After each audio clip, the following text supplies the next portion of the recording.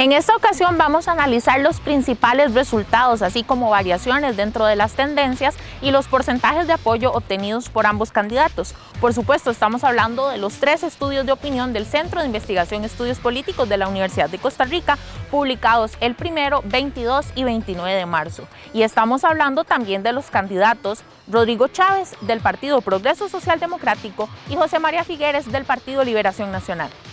Aquí, cuando, cuando se habla de abstencionismo, habría que pensar en, diversos tipos de personas abstencionistas. No es un mismo tipo de abstencionista. Hay un grupo de estas personas que son abstencionistas, que son aproximadamente un 10% del total del, del, padrón electoral, que podríamos llamar de, de que son abstencionistas eh, estructurales, por decirlo de alguna forma. Son las personas que siempre se abstienen y lo hacen como un tipo de reclamo ante el sistema político de forma ya más fuerte. O sea, eh, puede ser un reclamo consciente o inconsciente, en el sentido que son personas que no están interesadas en votar y todo, y ese es un grupo importante ese aproximadamente 10%.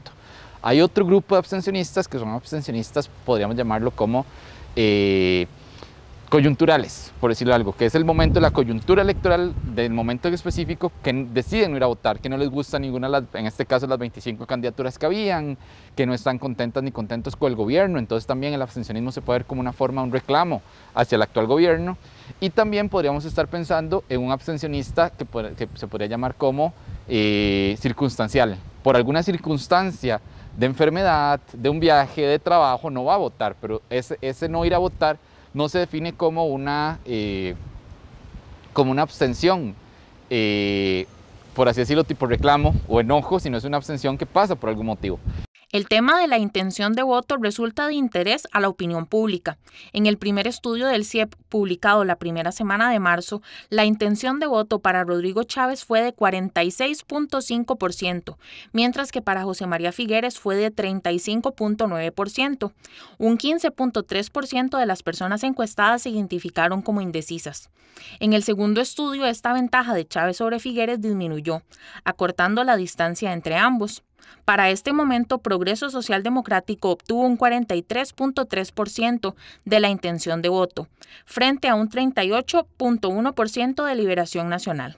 El porcentaje de personas indecisas se mantiene similar al anterior, con un 16.5%. La diferencia de apoyos que han habido durante este mes, por lo menos durante el mes de marzo, eh, previo a la, elección como tal, que, que, es el mes fuerte de la campaña en segunda ronda, nos demuestran que sí, que hubo un decrecimiento sostenido, por así decirlo, leve, pero sostenido Rodrigo Chávez, pero José María Figueres no cambió, se mantuvo, por así decirlo, en un, nivel similar. Entonces, el cambio fuerte, el cambio que uno podría decir que es un cambio eh, significativo es el de Rodrigo Chávez comparando todo el mes. De la primera medición de marzo a finales de marzo, ya él sí muestra una, una caída relativamente importante en, estos, en, estos, en estas mediciones como tal. Como lo vimos en este análisis de los tres estudios de opinión sociopolítica del CIEP, ambas poblaciones se comportan sin mayor diferencia estadísticamente significativa. Esto significa que cualquiera de los dos candidatos puede estar liderando en este momento. Y al igual que sucedió en la primera ronda, también muchas personas están decidiendo hasta el último momento para decidirse. Esta información fue producida para 15 UCR por Valeria Vargas y en la cámara de Miriet Ábrego.